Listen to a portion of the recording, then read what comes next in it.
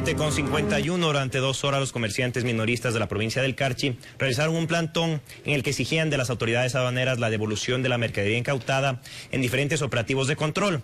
Ellos aducen no ser parte de los beneficios otorgados por el gobierno nacional. El escaso comercio que existe en Tulcán continúa disminuyendo. Fue parte del plantón que comerciantes minoristas agrupados en diferentes asociaciones de la provincia protagonizaron fuera de las oficinas de la SENAE. Dicen sentirse afectados por la falta de compradores y los excesivos operativos que realiza a diario el personal de la aduana, quienes incautan la mercadería, incluyendo los vehículos. Aseguran que la mercadería es nacional. Desde el mes de mayo no hubo ventas. Mis frutas yo traigo de la ciudad de Santo Domingo, de la ciudad de Ibar.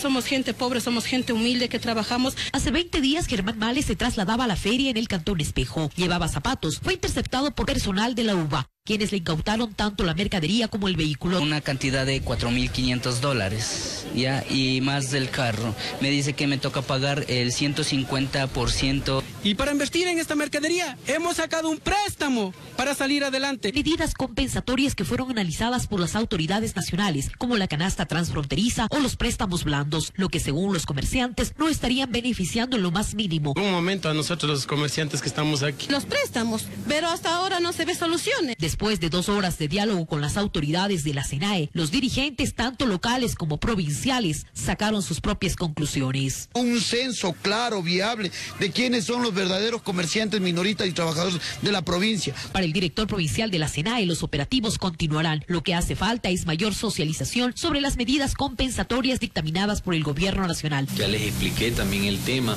que eh, la mercancía que ingresa al país tiene que cumplir con cierta formalidades aduaneras.